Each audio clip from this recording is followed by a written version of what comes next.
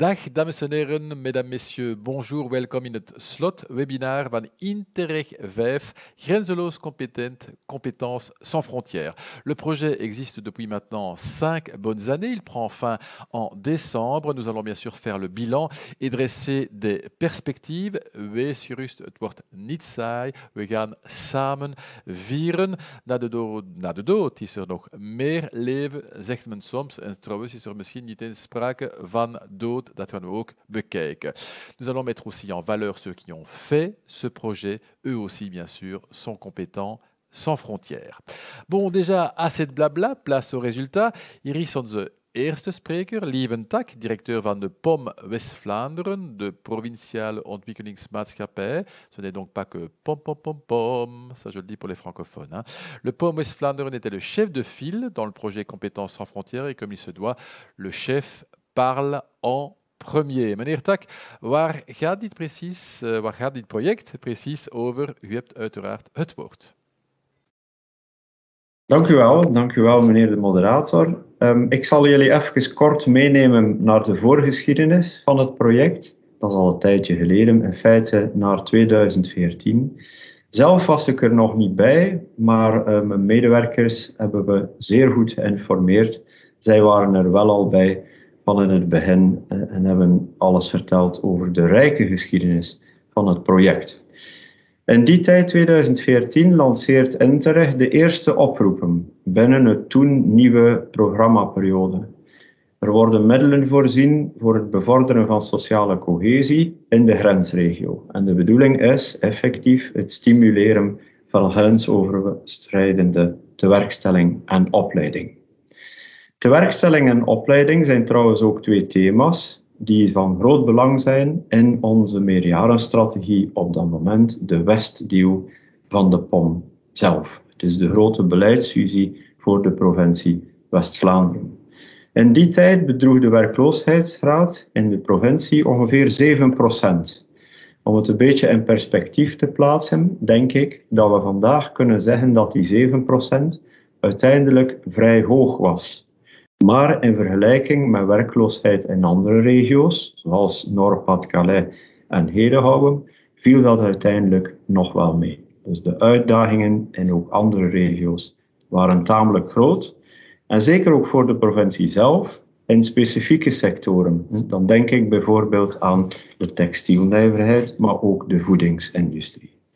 Dus bedrijven zijn op dat moment op zoek naar zeer veel vacatures, wat trouwens ook vandaag nog een deel van de problematiek is. Het was ook trouwens recent nog in het nieuws en we lezen er bijna elke dag over in de kranten. Nu alles bijeengenomen, namelijk één, het feit dat sociale cohesie een prioriteit is binnen het Interreg-programma, samen met de complementaire situatie op de arbeidsmarkt aan beide zijden van de taalgrens, en ten derde, de aandacht voor opleiding en tewerkstelling maakt dat we op dat moment aan de wieg staan van het project Grenzeloos Competent. In feite, in het najaar van 2014 was het nog een vrij vaag idee, dat een beetje tijd vergde om nog meer te groeien. Maar de vele projectpartners kennen wel al een zeer succesvolle en lange traditie van samenwerking rond verschillende projecten. En ik geef een paar voorbeeldjes. Bijvoorbeeld, Cefred, Cobot en CIA bundelden al enige tijd hun krachten rond opleidingen in de textielsector. Maar ook arbeidsbemiddelingsdiensten zoals de VDAB, Forum, Pôle Emploi en de sociale partners waren al langer actief binnen het bredere EURES-channel.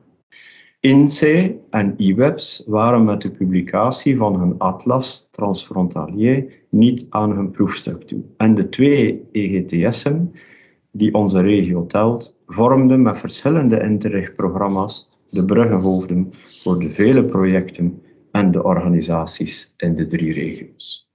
Maar in feite was de POM, POM West-Vlaanderen, een beetje de vreemde eend in de bijt, het groentje, zeg maar. Uiteindelijk kreeg het project snel concrete vorm en een paar partnermeetings in Veurne, Kortrijk en Rijssel verder, samen met een aantal bilaterale gesprekken, maakt dat het eerste projectidee uiteindelijk vorm kreeg en verder doorgroeide tot een omvangrijk project met verschillende partners en pakketten.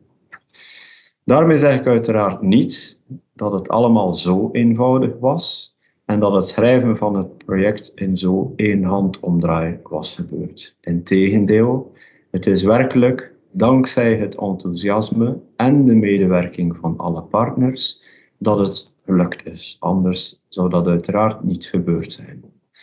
Wat begon als een klein idee, is intussen, na zes jaar, uitgegroeid tot, en ik denk dat ik dat effectief kan zeggen, tot een zeer mooi partnerschap dat ook heel veel heeft kunnen realiseren en bereiken.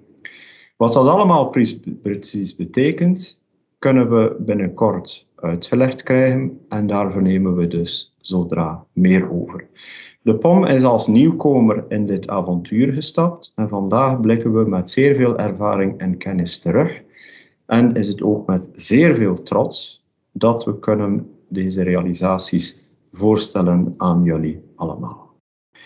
Ik wil jullie danken en ik wens jullie zeer veel succes en ik kijk ook uit naar de precieze getuigenissen. Dank u wel. Vous l'avez entendu, Compétences sans frontières réunit énormément euh, de partenaires, ils ont fait beaucoup d'actions, et plutôt que des mots, voici un film qui retrace le fil. La région frontalière, France, Wallonie-Flandre, souffre d'un déséquilibre du marché de l'emploi.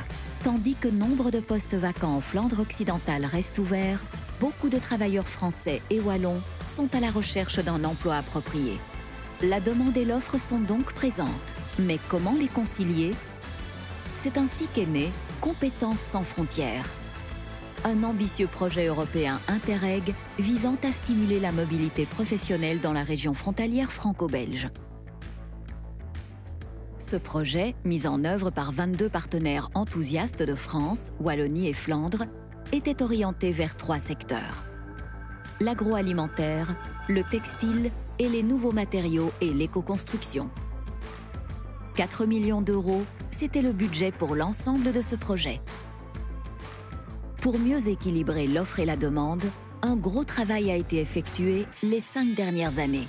Les demandeurs d'emploi ont été mis en situation lors des 20 journées découvertes, totalisant 303 participants.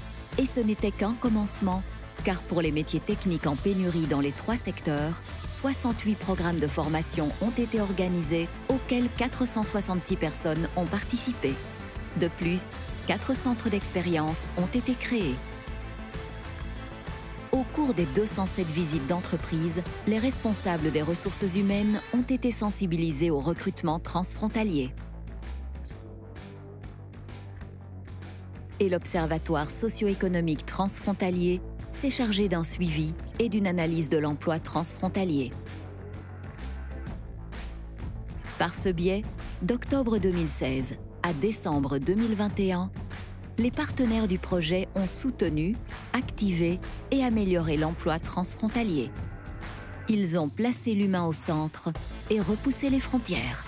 Résultat, un impact positif sur la collaboration et sur l'économie au bénéfice de nombreux habitants de la région frontalière franco-belge.